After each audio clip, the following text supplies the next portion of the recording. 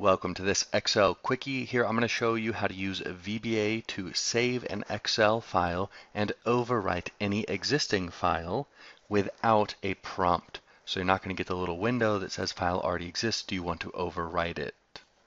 And this is part of a larger course that I'm making for teachexcel.com, so stick around for that. There's so much more. This is just a tiny little part of it.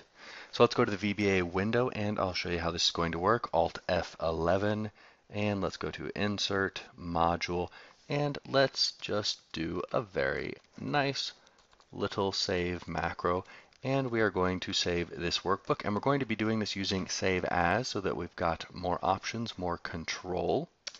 And for the first thing, we're going to give it a little file name with the full file path. And let's call it Bob. Okay, and we're going to save it as a macro-enabled file. So let's go ahead and choose the file format. Basically, you want to use 52 for macro workbooks and 51 for regular ones.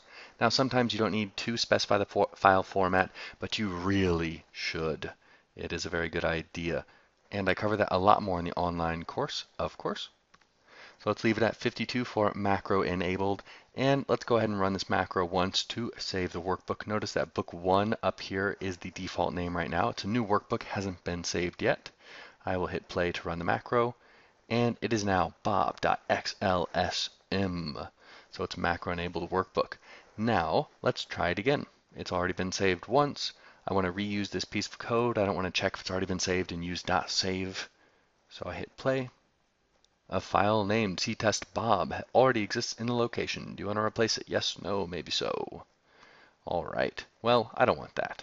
So let us turn that off. Very, very simple.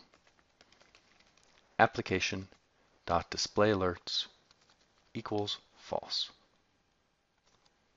And application dot equals true. Run it again, and we should see absolutely nothing. Perfect. Notice up here it'll say running while it's saving the file, and then it's done.